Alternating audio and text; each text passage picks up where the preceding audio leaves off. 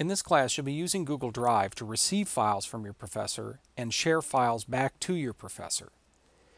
You'll do this by making a copy of files your professor would like you to use and then putting those files in a folder shared exclusively between you and your professor.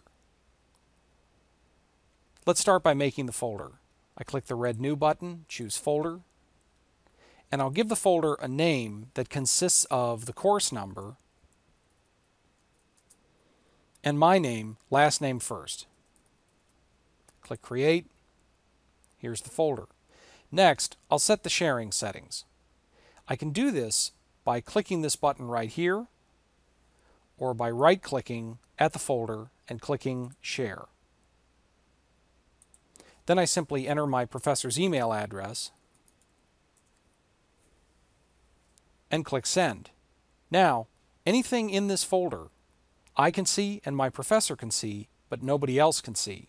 Anything I put in this folder, I automatically share with my professor.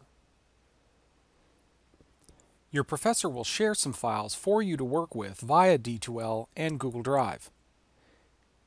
In Desire to Learn, you'll see the link. You click it, and Google then obliges you to make a copy of the file for yourself. Click Make a Copy,